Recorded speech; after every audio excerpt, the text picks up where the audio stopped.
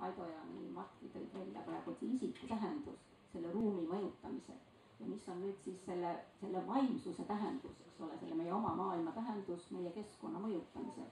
et seal on nüüd muusikal küll üks erakordselt suur roll mängida tegelikult, sest muusika ju, muusika ju suhtluskeel on ju helide keel tegelikult ja ütleks, et noh, et kuidas seda ruumi nagu mõjutada niisuguses avaramas mõttes selle helide keele kaudu, siis siin on ikkagi meil vist hirmus palju veel Eestis ära teha tegelikult. et siin on nii toredaid selliseid, noh, olles siin nagu kultuuripoja poolt, et siin on nii, nii toredaid nagu selliseid seoseid ja linke kunstnikega samaaegselt noh, rääkimise keeles need terminoloogilised terminid pole veel välja arendatud, mis on meil see valdkonna ülesus ja interdistsiplinaarsus, transdistsiplinaarsus, et me oleme selles suhtes sellised võrdlemisi noh, algajad ütles vähemalt muusikute poole pealt mida mina võiksin öelda niimoodi, et kui me nüüd räägime nendest protsessidest, kõik, mis on väga oluline ja Mart, sa tõid ka ette väga olulise teema, siis nad ikkagi kuskil lõppkokkuvõttes suumuvad kõik haridusse tähendab see hariduse komponent meie elukeskkonna nagu väärtustamises, meie elukeskkonna kujundamises ja meie elukeskkonna kvaliteedis on erakordselt suur. et võib-olla ma siis hiljem natuke räägiksin sellest hariduse osast ja milline võiks olla muusika osa just nagu hariduses komponendis, et suhestus ka siis nagu riiklike otsustega väga selgelt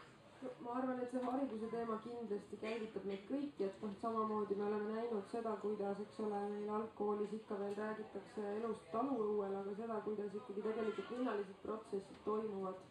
kuidas nii-öelda see, see elukeskkond on, kus me tegelikult, enamus meist nii-öelda kasvab kuidas sulle tundub, kui tulevad nii-öelda noored äh, tudengid, mis on see nende pagas, ma tean, noh, ütleme teatud eas on see täna hästi popp teema, kogu see, kogu see linnaline keskkond, urbanistlik kultuur, elukeskkonna nii-öelda väärtustamine, see, see noorte hulgas on popp, aga kas kool soosib seda ka nagu äh, juba algusest peale, mis sulle tundub, Mart? Äh, minu meelest tudengid ei ole kunagi lollid, aga, aga nendel on aeg-ajalt imelikke hoiakuid, et meil on Kristaga, ma usun, ühine kogemus sellest, et kunst, eriti kunstiteaduse sisseastumisel on meil ikka, ühe, ma just mäletan, see oli üheksakümnendatel väga niisugune küsimus, kuna Tallinnas siis ehitati ja alati me nagu küsisime, et noh, kuidas teile nüüd see uus maja siis meeldib. ja, ja need keskkoolist tulnud kunstiteadust õppida tahta noored peaaegu alati olid äh, meie jaoks hästi üllatavalt, ei, kõik uued majad on nii koledad, ärge nüüd enam siia mitte midagi juurde ehitage, jumala eest samal ajal noh, nagu ütleme, komisjoni seisukoht oli see, et, vabandust, Tallinna kesklinn vajab veel tuhandeid uusi maju, sest see on mõttetult hõre. Ja, ja, ja siis ma nagu see oli nagu noh, et, et tegelikult sa näed, et see keskkooli ettevalmistus ei olnud see, mida, äh, mida Kunstiakadeemia ootas, aga teine asi on see, et Kunstiakadeemia on olnud kogu aeg harjunud, et keskkoolist tulevad inimesed, kes tahavad osata ilusaid lillepilte teha. Ja kui nad siis saavad esimesel kursusel teada, mis asi on kaasaegne kunst siis on noh, see võimalus, et nad äh, kas lahkuvad koolist või orienteeruvad ümber.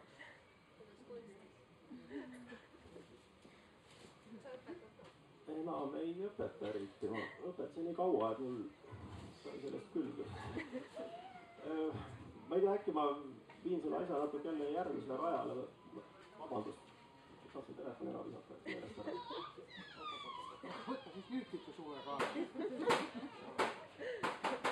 tõesti vabandust, ma ei.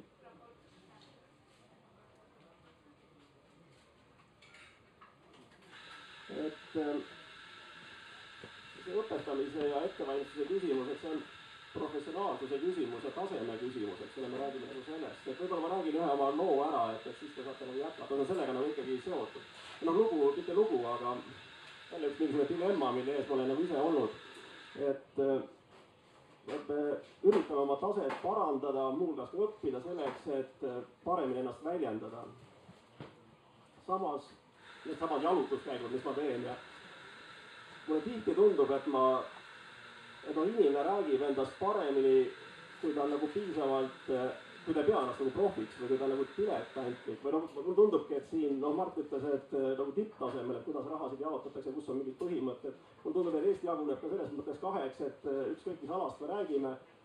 suur hulk inimesi ütleb, et kui mina ei ole seda õppinud, ega mina ei tea, kuidas see asi käib. noh, tänu sellele mina toimetan nii, nagu mina ikka toimetan. et noh, ma ei tea arhitektuurist palju, ma ei tea võib-olla aiakujundusest, aga mulle meeldib natuke putitada, mulle meeldib natukene teha ja noh, natuke teha on ju vaja, eks ma siis siin vaikselt toimetan, aga ärge hakake mind nüüd sellise pilguga vaatama, et siin nüüd midagi nüüd nagu päriselt on tehtud. mina ei ole kunstnik, mina ei ole arhitekt, mina ei ole aednik, aga noh, elan oma elu nii, nagu ma oskan ja no vaata sellel tasemel seal nagu inimene ennast paratamatult väljendab üllatavalt nagu kuidagi hästi veel, seal tema kõik need küljed tulevad väga välja ja tihti veel nagu professionaalsel tasemel mulle tundub, et tihti tekib mingisugune vaakum kuskil, et võib-olla tõesti enne kui jõuad kuhugi päris tippu, siis vahepeal oled sa kuidagi nagu üllatavalt anonüümne tegelane, et, et sa pigem nagu üritad nagu sa rõhud sellele professionaalsusele, aga see, mida sa tegelikult nagu öelda tahad, see jääb kuhugi teisele, kolmandale, neljandale kohale ja siis ma näed, et noh, inimene küll nagu arenenud, et ta nagu enam-vähem teab, mis ta teeb, aga noh, kes ta ikkagi tegelikult on, on näha, kuidas ta nagu lihtsalt üritab võtta sisse kohta professionaalide rivis, aga kes ta tegelikult on, et selline diletantide rivi, kuigi ka meil on mingid omad ühisnimetajad, et see on kuidagi palju nagu rohkem harali seal on need noh, ma ütlen jälle, et noh, inimene koosneb ikkagi nagu, on nagu loll mina ja tark mina ja see loll mina saab ka üllatavalt tihti nagu mikrofoni kätte. ja see, mis ta siis nagu välja ütleb, et, et see on et, et, et seda, et ähm, no ütleme niimoodi, et noh, mis on, mis mind ennast isegi nagu natuke häirib ja no ma pean ennast nagu professionaaliks ja ma lõpuks ei tea, ma ei näe ju ennast kõrvalt, et kas see nüüd pigem nagu hea või halb, et äkki ma olen ka mingi selline hermeetiline tegelane, kes teeb oma valdkonnas nagu suhteliselt aktsepteeritud asju, aga võib-olla noh, see on kuidagi nüüd abstraktselt professionaalne, äkki ma ikkagi seda, et ma tahan nagu öelda, ma ei suuda öelda, sest et äh, ma olen, kui ma näen mingit väga professionaalselt tehtud asja, mis, mis iganes see on. Mul on tunne, et äh, väga tihti see ei pane mind nagu kaasa mõtlema, et ma siis, äh, ma lihtsalt naudin seda täiust, et see ongi kuidagi selline nagu peaaegu et äh, ideaalse kujuga mingisugune voolujooneline asi ja noh, mida ta kindlasti teeb, ta kuidagi update ib minu sisemist nagu headuse standardit, et see on kindlasti, et ma nagu saan nagu aru, et mida see kvaliteet veel nagu tähendab ja see on igal juhul pluss, aga ma väga nagu tihti ei mõtle selle peale, kui ma näen midagi, mis on nagu selline pigem kaheldav, et mitte öelda vigane, et see tekitab minus väga palju nagu mõtteid, noh enda kohta, selle kohta, mida ma näen. Ja selles mõttes on see nagu ju kasulik, sest ma tean ka kunsti puhul tihti räägitakse seda, et kunsti eesmärk on tekitada küsimusi ja mõtteid. Aga professionaalne kunst just nimelt sellepärast, et on professionaalne, väga tihti ei tekita minus küsimusi, sest ta on noh, jumalast okei okay. ma saan aru, et vot see inimene lõpuks, ta on ikka värklauale päris pihta saanud, aga, aga siis on that's it, et noh, kuldmedal, suurepärane et kumb siis on, ütleme, sina ütle siis Muusikaakadeemia poole pealt, et kas akadeemia peab koolitama terviklikku inimest või ta peab koolitama professionaali? Ei saa niimoodi küsimust püstitada tegelikult, ma tooksin hea näite, kui Kaido rääkis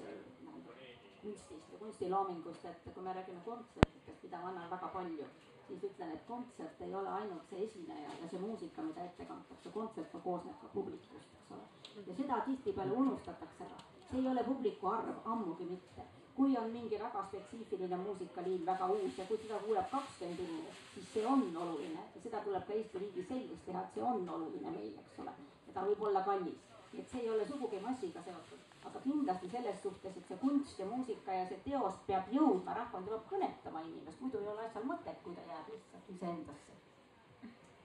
no, no vot, et me jõuame ikka sellesama tegelikult ähm, selle paneeli sõnastatud peateemani, et äh, ta peab kõnetama. et aga, aga mõe, kui me, kui me endiselt ütleme seda retoorika või ka märgid, siis me eeldame, et neid saab lugeda. Ehk siis, aga selleks, et lugeda, nagu me teame, peame, peab, peab omama lugemise oskust, lugemise oskust vastasel juhul äh, võib tuua selle näite, mida Mart tõi, kuidas tulevad noored inimesed, kes lihtsalt ei oskagi ruumi lugeda. Nende jaoks on see tähendus seetõttu täiesti teistsugune kui meile, ütleme professionaalidele või, või teistsuguse juba kogemusega inimesele. Et ähm, ma arvan, et see lugemisoskuse arendamine on erakordselt oluline äh,, aga ja ma toon nagu kontra või näite siis sealt ülevalt, et näiteks ähm, kui käib, üsna sageli käib ju külalisi, välismaa nii-öelda spetsialiste, meil käib palju külalisprofessoreid ja niipea, kui nad näevad näiteks Tallinna linna, nad ütlevad kohe, siin on korruptsioon. Nad lihtsalt vaatavad sellele peale Nad ütlevad, selles linnas on korruptsioon. miks? Sellepärast, et nad loevad seda linna, nad näevad, kuidas seal on augud, kuidas seal on nii palju tühja ruumi, hoolitsemata ruumi ja siis äkki on mingisugune Marmarist palee kusagil kerkib mingis täiesti mõttetus kohas ja nii-öelda professionaali silma jaoks täiesti vales kohas. ehk siis see, see, kuidas keegi ruumi kogeb, on väga individuaalne, see oleneb väga palju sellest, missugusest kultuurikeskkonnast ta tuleb ja, ja missugused on tema teadmised loomulikult ei taha ma sellega öelda, et ruumi kogemine ei ole, ei ole emotsionaalne. Kindlasti on, ainult et see tea-, inimene just nimelt on äh, ikkagi füüsiline ja see teadmine ja emotsioon käivad tema, tema, tema kogemusest kindlasti käsikäes. ja, ja veel kord, võib-olla see on ka nagu üks teema, mille, millest äh, tuleks mõelda, et, et rääkides haridusest ähm, äh, on ju küsimus ka selles, et, et minu arust ei tohiks jääda kõla, kõlama see, et me nüüd õpetame, kuidas on üks õige viis lugeda midagi või kogeda midagi. tegelikult see, mida me peaksime minu arust tegema, on, me peaksime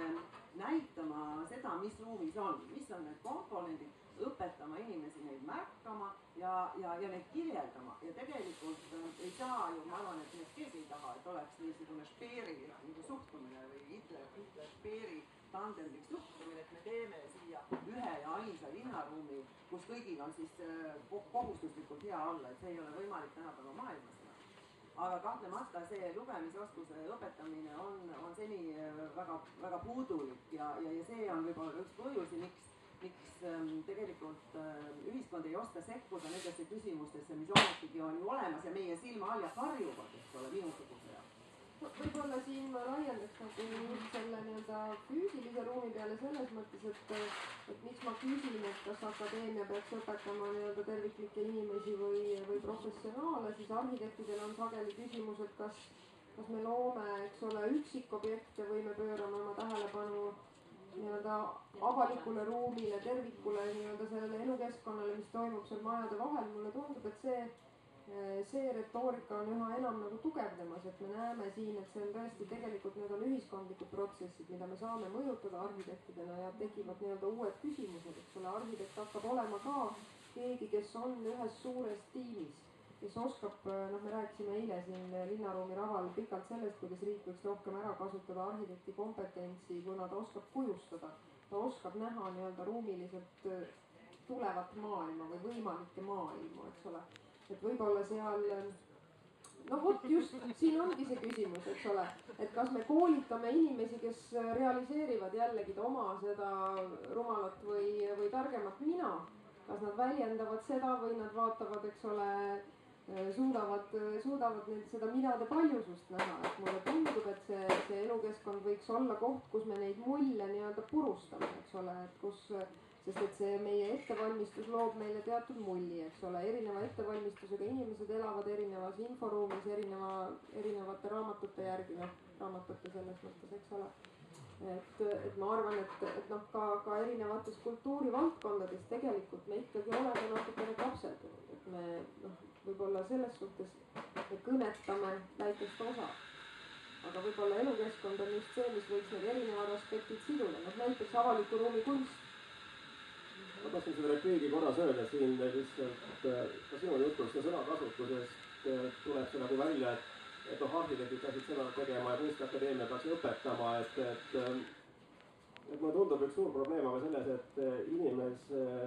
tähendab, ta tajub liiga vähe nagu vastutust, et kogu aeg on tal mingisugune teejuht, et see algab ju suhteliselt varakult peale ikkagi koolis, ta läheb selleks, et õppida, kõrgkooli läheb ta selleks, et uuesti edasi õppida ja ja see võtab talt väga, võib-olla küll väikese, aga väga otsustava osa vastutust nagu ära, et ikkagi ma arvan, et eelkõige on iga isiksus ise vastutav kõige eest. ja, ja siis alles edasi tulevad nagu teised, aga praegu on tihti see asi nagu ümber pööratud. Ikkagi, sa saad alati apelleerida sellele, et ma ei ole ju seda õppinud ja ma ei tea ju seda ja teist ja, ja see annab sulle mingisuguse imeliku pahupidise vaba, vabaduse, aga, aga aga see, et inimesele sisendada, et eelkõige on tema ikkagi ja siis tulevad kõik teised, alles Kunstiakadeemia ja muu ühiskond, et, et see, see, aga seda, seda ei saa teha, noh, seda ei saa teha kahekümne ja kolmekümne aastaselt. Kaido, aga kuidas iseks saadakse? Ei no aga see on ju väga oluline küsimus ikkagi, mina arvan, et absoluutselt kunsti ja kultuuriinimesed peaksid näitama seda, et iga inimese, ükskõik millises valdkonnas ta tegeleb, eks ole, tema esmane kogemus on oma nii-öelda isiksust arendada võimalikult terviklikuks, sest siis saab üha laiem seltskond sellest terviklikkusest ka osa. et see ei ole nagu ego küsimus, see on pigem ego lahustamise küsimus, eks ole. ja seda loomulikult protsessi ei saa sul kool nii-öelda sinu eest ära teha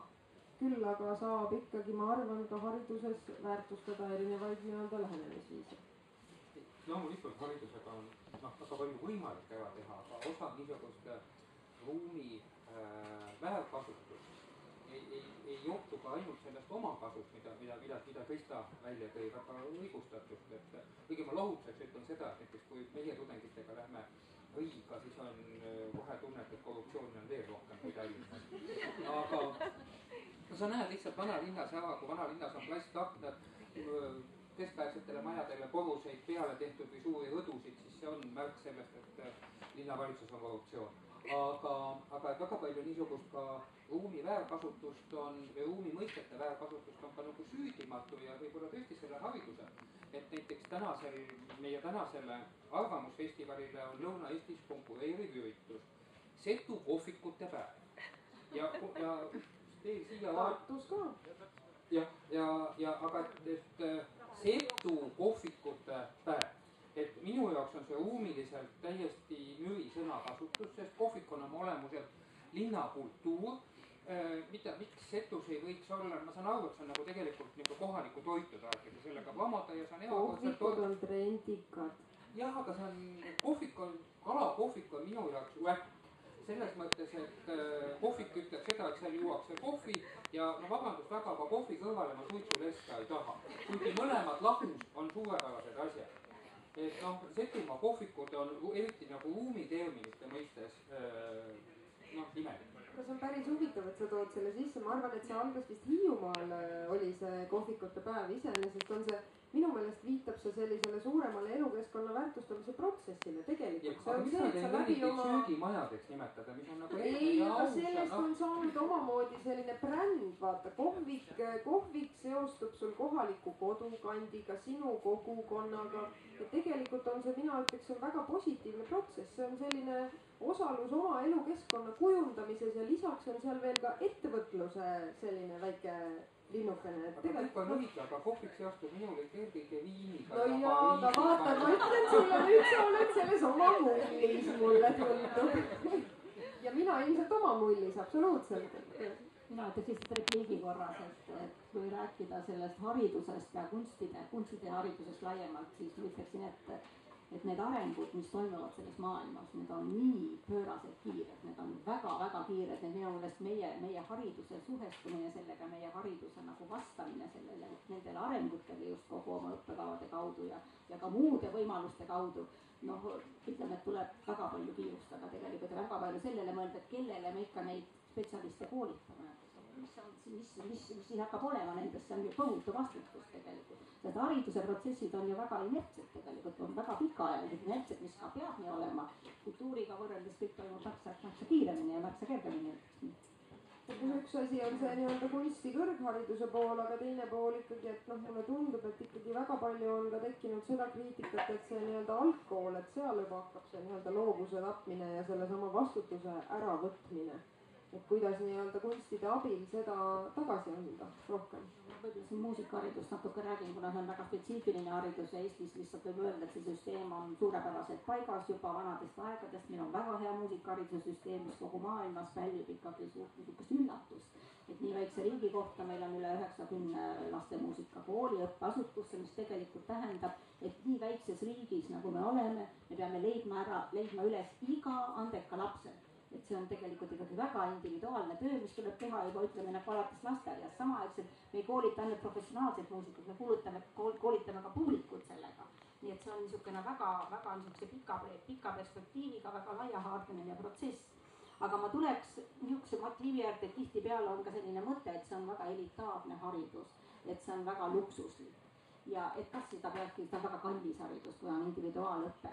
aga ma tulin just Šveitsist ja Šveitsis on tegelikult muusikaharidus on sisse kirjutatud riigi põhiseadusesse ja Šveitsis, Šveitsis on toimunud rahvahääletus kaks tuhat kaksteist, eks ole, kus siis see hääletati sisse. miks seda tehti, see ei ole mitte sellepärast, et ma tahan, et ka Eestis oleks muusika hääletatud sisse meie põhiseadusesse, vaid eelkõige sellepärast, et Šveits kui rikas riik hakkas panema kogu selle hariduse ainult nagu tarbijatele, ainult õppuritele, ainult nende laste vanematele, mis viis muusikahariduse taseme väga. Sellepärast, et sellel ei olnud enam niisugust noh, professionaalset alust. ja nüüd nad leidsid, et see on väga oluline, et see tuleb riiklikult peaks olema toetatud, seda ei saa jätta lihtsalt ainult juhuse hooleks, kes õpib, kes ei õpi, kes maksab, kes ei maksa, mis on tulemus, eks ole. et pigem ta toimib sedapidi ja Šveitsi riik tegi selle otsuse siin on ka muudes maailma, Ladina-Ameerikas on ka muusika kirjutatud sisse, eks ole, muusikahariduse tähendus, hariduse tähendus, mitte ainult lastele ja noortele, vaid ka täiskasvanutele, et see on kogu selle elukeskkonna niisuguse nagu kvaliteedi tõstmiseks väga oluline vahend. et äh, jah, haridusest jätkates, et, ähm, et ähm, tegelikult ähm, nagu ma ütlesin, minu tees on tõepoolest see, et äh, ma, mulle tundub, et Kaido natuke vastandab seda, seda teadmist ja, ja, ja, ja siis lihtsalt puhast niisugust ähm, emotsiooni või, või, või, või, või isiklikku kogemist, et äh, minu arvates neid, veel kord, et minu arust neid ei saa vastandada. ja, ja isiksus kahtlemata kujuneb äh, koolis ja kodus ehk siis ta kujuneb teatud kultuurikeskkonnas ja teatud õpikeskkonnas, eks ole. mulle tundub, et, ähm, et äh, me oleme, ma, ma arvan tegelikult, et kogu lääne kultuur muidugi on praegu niisuguses üleminekuperioodis, kus, kus ähm, ikkagi minnakse mingile täiesti teistsugusele arusaamale ühiskonnast, kuida, kui see seni on olnud, eks. ja see, see mõiste postmodernism on selles mõttes õige küll et, et me oleme millegi järgses või millegi vahepealses, kus praegu nagu väga paljud ähm, mõisted ja, ja, ja suhted ähm, selginevad. ja, ja siit, siit see, mida ma te, tegelikult äh, selle eelnevaga tahan öelda, on see, et, et ähm, et me, me, me mõistame ja kogeme asju nii, nagu neid on meile jutustatud ja, ja mulle tundub, et, et kui akadeemilises humanitaarteaduses on, on juba aastakümneid räägitud inter- ja transdistsiplinaarsusest ehk siis sellest, missugused on, on tegelikult üheksateistkümnendal sajandil kujunenud distsipliinide omavahelised suhted reaalses maailmas siis kooli on see sõnum nagu väga vähe jõudnud, seetõttu ma arvan, et ei ole lastel ka väga huvitav õppida ausalt öelda, sellepärast et, et kõik asjad on kuidagi hästi ära purgistatud või ära raamistatud. Ja et, et aga kuidas muidugi seda, seda õpetada, see on, see on väga keeruline küsimus, sellepärast et, et spetsialistiks näiteks kui ütleme, minna järgmistele spetsialistiks on väga raske saada, kui sa, kui sa ühte nagu asja väga põhjalikult ei tunneta et ehk siis see, ma arvan, et see ongi, ma, ma tegelikult arvan, et pedagoogika on kahekümne esimese sajandi üks põhiküsimusi, kuidas anda inimestele neid teadmisi maailmast nii, nagu ta on, mitte nii, nagu me seda tegelikult tahaksime hirmsasti näha. nii, nagu ta on ja, ja, ja õpetada nägema neid seoseid. ruumis juurde tulles õpetada teisele nägema neid, neid, neid seoseid, mis see ruum on siis, eks ole, kuidas ta kujuneb, mis on tema need komponendid ja kuidas, mis, kuidas teda nii-öelda konstrueeritakse ja kuidas teda siis äh, omakorda kogetakse mul oli väga hea meel, et Yoko tõi sisse eh, loovuse mõiste.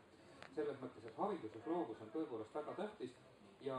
ja, ja mul on väga hea meel selle üle, et, et kui loovus on olnud nagu kunsti õpetamise nagu põhimeetod akademismi moodmisest äh, alates Eestis tähendab see siis viiekümnendate aastate lõpust alates, ehkki muidugi ega EKA-l selle Jaroslavi kliki moodmisel läks aega, see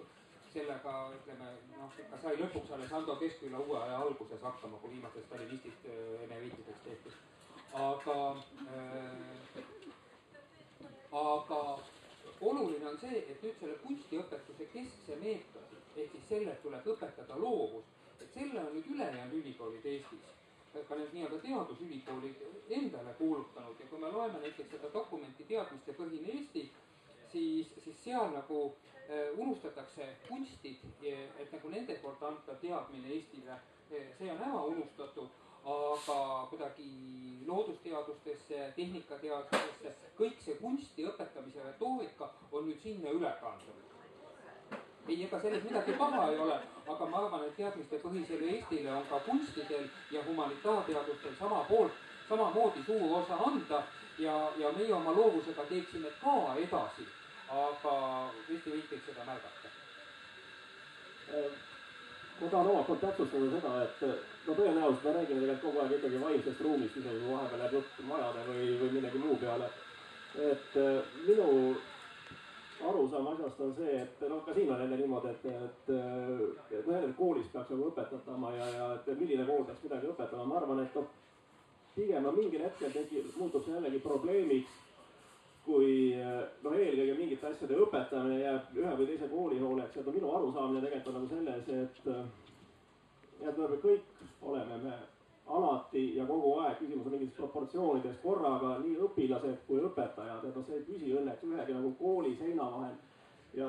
noh, kuskil ma ütlesin ka, et vist puudutas kitsamat kunsti ja kus tõmmati ka nagu piiri vahele, et, et kes on kunstnik, kes ei ole, ma ütlesin, noh, kõik esinevad kogu aeg ja no selles mõttes on nagu kõik kunstnikud ja kui keegi arvab, et tal õnnestub nagu nii-öelda mitte esineda ja püsida nii-öelda publiku hulgas, on see absoluutselt sügav eksitus. et kõik on kogu aeg laval, kõik esinevad ja kõigil on lõpuks oma nii-öelda kunstniku CV, et sellest ei pääse mitte keegi, samamoodi ei pääse mitte keegi lakkamatult õpetamisest ja õppimisest ja võib-olla see ongi see, mida tuleks nagu lihtsalt teadvustada, muidu on niimoodi, et ma õppisin, olin sellises koolis ja kahjuks meil oli suhteliselt vilets kunstiõpetaja, näe loovust ma ei saanudki õppida. et no see on ju, see on absurdne ja no nii kaua nagu seostatakse mingi asja õppimist, noh kindlasti jah, Mendelejevi tabelit tuleb õppida võib-olla keemiaõpetaja käest ja nii edasi, aga aga selliste, ütleme, üldinimlike asjade õppimine ei ripu kinni ühes koolis või õpetajas, kui panna nagu selline vastutus õpetajate ja koolide või noh, ma ei tea, kunstnike liidu või mille peale iganes, et see, see on põhimõtteliselt on nagu ummiktee. ja vähemalt ta välistab mingid kõige huvitavamad arengud, et noh, see ongi see, mida ma tahan nagu öelda, et sellepärast ma mõnikord nagu vaatan, et ma saan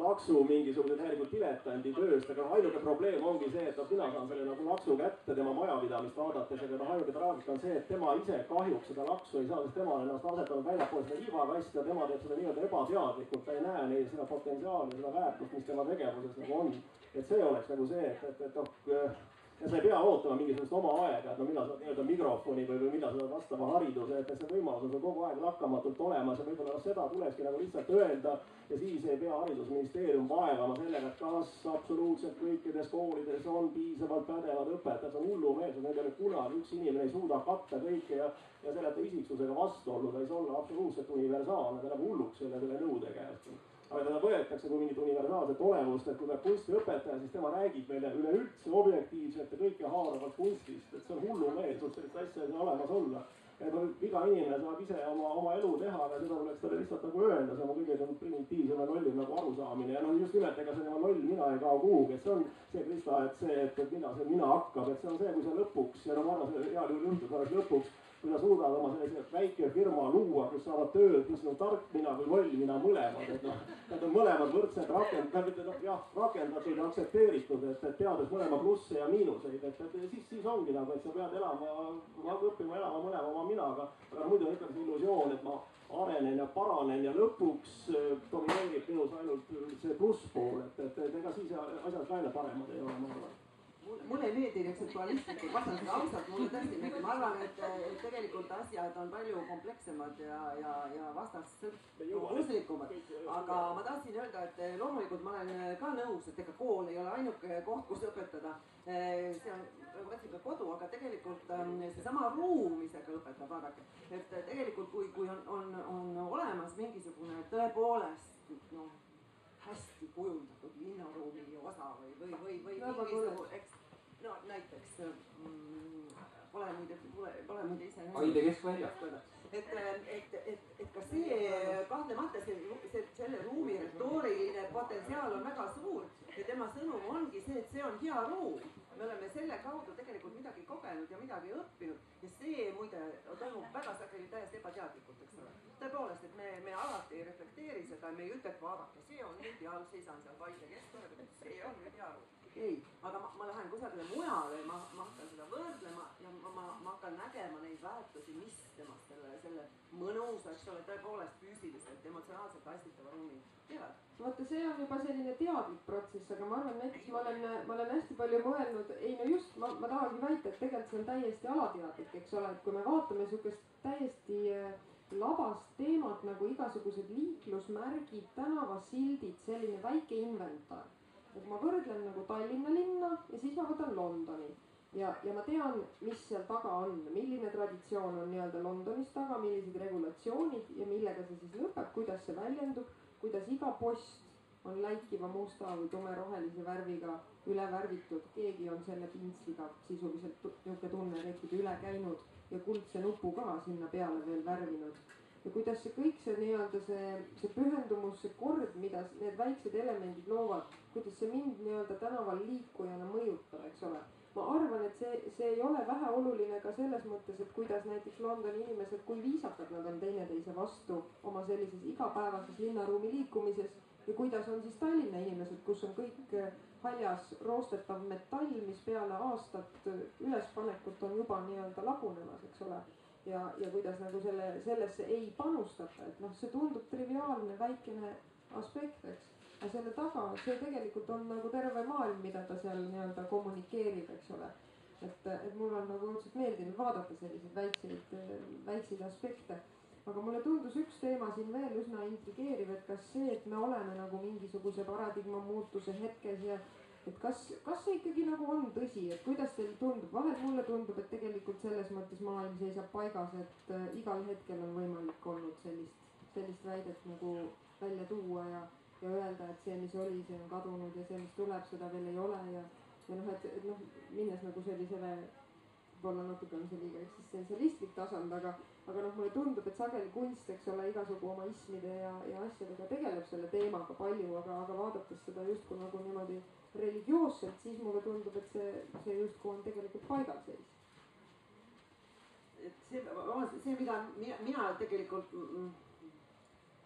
loomulikult, et, et ajalugu ei saa tegelikult, kui me ajalugu perioodiseerime, siis on see loomulikult meie nagu vägivald aja vastu, ajaloo vastu. aga ometigi on isegi ajalooteaduses mõiste nagu longue durée, et, et tegelikult on, on, kui me näiteks räägime, no kõige tüüpilisem longue durée näide on renessansi algus, algas moodne maailm, eks ole, ja see on kestnud viissada aastat. ja loomulikult on elu tegelikult, see on ju protsess, eks ole aga, aga ometigi me korrastame seda nii nagu arhitektid korrastavad, me korrastame oma mõtteruumi, mis abistab äh, meid mõtlemisel. Ja mina tegelikult, see ei ole muidu, ma ei ole, ma ei, noh, ma nii äh, tark ka ei ole, et ma oleks selle ise välja mõelnud. Neid protsesse on loomulikult kirjeldatud, et, et tegelikult ikkagi tõepoolest arvatakse, see ei ole kestnud muidugi juba mõnda aega, siis juba enne seda, kui sina sündisid, peale ei, see on väga põnev, aga, aga teine fakt veel, mis siit Krista jutust enne välja tuli, et kool peaks õpetama, ma rebin nüüd ühe lause kontekstist välja, andke mulle see andeks, aga see natukene viib võib-olla jälle diskussiooni edasi, et kool peaks õpetama nägema maailma nii, nagu ta on, mitte nii, nagu ta võiks olla. et mina liikudes nii-öelda viimasel ajal nagu erinevate valdkondade piirimail, olles ka nagu ühe jalaga nii-öelda poliitikas, ma tahaks just nendele õpetada nägema maailma nii, nagu ta võiks olla, sest ma leian, et me oleme täna liiga palju kinni selles nii-öelda, kuidas maailm on, et, et kui me nagu üks hetk ei kujusta ja ei mõtle, mis just võiks olla nii-öelda kunsti roll, eks ole, mõelda sellele, milline ta võiks olla, kujustada seda, et siis meil, siis me ei saagi panustama sellesse, milline ta hakkab olema. ja, ja noh, et nagu just see nii-öelda maailmade vaheline, siin me üritasime ka panna erinevatesse kastidesse ennast, eks ole, et, et just kui palju meil võiks kasu olla nii-öelda kunstil teadusest, teadusel kunstist, eks ole, samamoodi ma näen seda ise, eks ole poliitika kui selline, vahel räägitakse, et noh, seal nagu kunstiga pole üldse midagi tegemist, et mulle just meeldib see, et ma saan hüpata nende maailmade vahel, mulle tundub, et see annab väga palju juurde sellele kogemusele, sellele nii-öelda näge-, nägemusele sellest asjast. ma jäin kinni sinu eelmisesse mõttesse sellest, et kas aeg on paigal või me oleme praegu muutuste protsessis. et äh, mul on hästi endal meeles see, kuidas ma tulin äh, kaheksakümnendate äh, aastate alguses Tartu Ülikooli äh, üliõpilasena ma ei teadnud, et see siis on Stagna aeg, see selgus päevast äh,. aga ma mäletan, kuidas ma tulin Vana Pälsoni ühika poole mööda toonast Vanemuise tänavat, nüüd Aia tänavat ja mõtlesin, et küll me ikka elame ebahuvitaval ajal, et kõik asjad on leiutatud, et auto on olemas, telefon on olemas,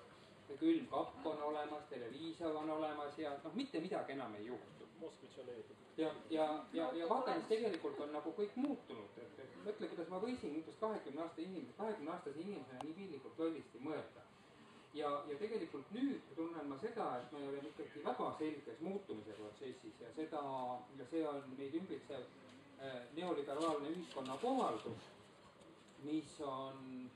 äh, mis minu silmis, mul aga, mul on, millega, ega ma ei ole ju ka mingi tuuletallaja, et ma tegelikult olen suhteliselt ratsionaalne inimene aga eh, kõike niimoodi ära taandada kasumi ja ahnuse peale, nagu noh, vabandust, loomulikult neoliberalismi ideoloogid ei räägi ahnusest, see on nende silmis niisugune, neil on eufemismid, et seda ebameeldivat sõna oma tegeliku tegevuse sees varjata, eks ole, jah. aga tegelikult kõik on ahnuse peal ja, ja see, ja selle, selle läbi õigustatakse kõike ja kõik need valdkonnad, mis mulle on huvi pakkunud, olgu selleks siis, ma ei tea kunst, arhitektuur, muinsuskaitse, humanitaarteadused, eh, selles niisuguses neoliberalistlikus maailmas nad lihtsalt heidetakse kõik kui suhteliselt kasutud üle parda. ja, ja, ja loomulikult ma tunnen ennast eh, noh, et, et mul on raske sellega kohaneda. aga see muutus, eh, see süveneb, see, see Kunstiakadeemia viimaste aastate arengus arengus peegeldub see ühiskonnas toimunud suurem muudatus väga selgelt. ma usun, et sina, Maie, koged seda Muusikaakadeemias samamoodi. see, see on, elame väga suures, suures muudatuses, kus kunstid hakkavad üle jääma. minu väide oli lihtsalt see, et ma arvan, et alati on elatud väga suurte muudatuste ajal. vabandan väga, aga mul on Yokole küsimus tähendab, et kui palju nüüd sina nii poliitikas kaasalööjana ja, ja üldse kunstivaldkonnas hästi, hästi orienteeruva inimesena suudad neid protsesse mõjutada just otsustuse riigi tasandil, mis on sinu kogemus sellest? Äh, ma olen tundnud, et ametnikuna minu käed ei ole vahel piisavalt pikad, sellepärast ma olengi võtnud sammukese otsuse astuda sammukene edasi ja, ja loomulikult ma tahan liikuda sinna, kus ma saan neid protsesse mõjutada rohkem, aga ma arvan, et et juba täna nii-öelda just nimelt lõhkudes neid mulle, rääkides erinevate inimestega, näidates nagu seda fookuspunkti nihutades,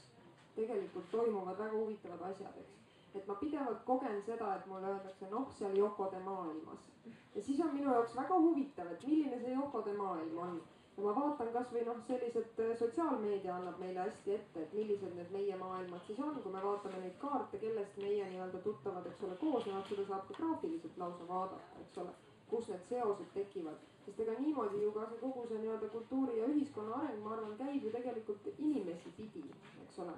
et minu meelest, mida rohkem me suudame selliseid ootamatuid ja erinevaid seoseid tekitada, seda rohkem on meil nagu lootust, et see sidusus ühiskonnas kasvab, et sellepärast noh mina nagu tervitaksin selliseid, selliseid protsesse. avada neid kanaleid rohkem. absoluutselt, absoluutselt.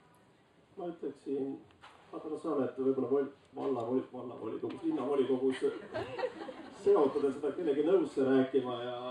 ja alati saab viidata rahale, et raha ei ole, aga ma viimased aastad maalin, see ei ole nagu probleem, et, et mul on raha, et osta lõuend ja osta alusraamid, aga ma olen tihtipeale nagu mõelnud selle peale, see on jälle seesama vaimse ruumi ja selle kultuuri õpetamise probleem et põhimõtteliselt mina võiksin teha ükskõik mida ja noh, sellist asja ei ole nagu olemas, et maalis on juba kõik ära tehtud või kunstis, et põhimõtteliselt on seal kindlasti täiesti müstilised asjad tegemata. ma vahin seda tühja lõuendit ja mõtlen, et kõik sõltub absoluutselt minust. ja no see, mis ma teen, on ikkagi suhteliselt prognoositav, isegi kui ta on hea ja ma mõtlen, miks ma ei näe seda võimalust, miks ma ei näe seda võimalust ja nüüd, kui ma lähen kuhugi muuseumisse, ma vaatan tagasi, kuidas isegi kuuekümnendatel, kuidas kõik on oma ajastu nägu ja kuidas ikkagi no sõltumata haridusest või kõigest mida koha peal räägitakse, et see tuleb nagu mingi nagu hapnik kopsudest, et me saame selle info tegelikult ikkagi kuidagi märkamatult kätte, mida tuleb teha. kõige hullemad rebelid ja revolutsionäärid, nad teevad ikkagi oma ajastule mõistlikke otsuseid, vahin seda tühja lõuendit ja mõtlen, ma võiks teha mingit täiesti hullumeelse, täiesti seninägematu, täiesti nii-öelda vale teose, ma proovin nagu ette kujutada, mis see siis võiks olla, aga ei, et ma arvangi, et seesama vaimne ruum ja kõik see meie naabrid, meie õpetajad, kõik see, et me nagu laome endale järjest seda, noh, me põhimõtteliselt me ehitame endale nagu mingit püssitoru ja lõpuks see, see püssitoru on lõpuks nii pikk, et see kuul, mis sealt välja lendab, ta saab lennata väga täpselt ühte punkti ja mitte kuhugi mujale, et, et mulle tundub, et alguses veel, kui see püssitoru on väga lühikene, on võimalik võib-olla seal mingit lehte otsa teha. et see, see, see kuul võiks tõesti eksida kuhugi täiesti võssa, mis oleks äärmiselt huvitav, sest kõik sihivad alati tegelikult ikkagi märklauda. kuigi nad ei tea, kus see märklaud on, aga hiljem muutub see absoluutselt ilmseks, kus see märklaud oli ja sinna nad kõik sihtisidki ja noh, ma tahaks ülimalt teha mingit totaalset viga teha, aga ma ei suuda seda viga teha, sest ma olen oma ajastu, oma mineviku laps ja, ja ma, ma ei näe, ma ei näe seda veavõimalust. kas see vaevab sind? vaevab mind väga aga äkki, ma mõtlesin, me oleme nüüd tükk aega lobisenud, äkki on publikul tekkinud mõni küsimus või mõte, et siis annaks hea meelega siit saadaks ühe mikrofoni ja kuulaks. laseks teil juhtida seda vestlust kuskile suunda, kus teile tundub huvitav.